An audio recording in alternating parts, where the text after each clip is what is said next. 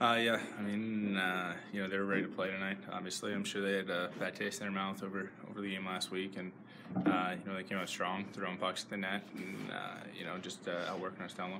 And uh, just were you having it seemed like a lot of net front and crashing the crease. Did you have sort of trouble seeing the puck a little bit tonight? I thought you know I did a fairly good job just tracking the puck. I mean, uh, you know when they get you know 10, 15 shots from the point, there's there's always gonna be traffic. They get some big bodies that.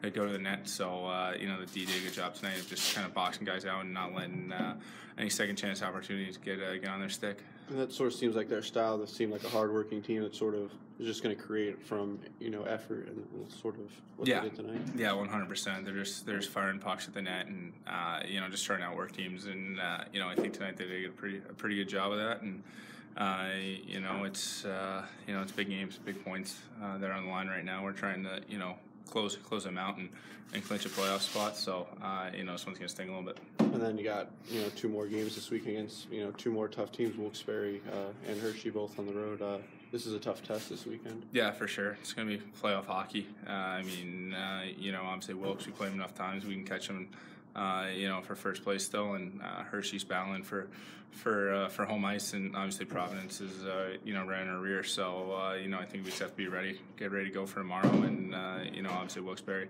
we know the type of team they are. We've played them enough, so I think we just have to go out and play our game tomorrow.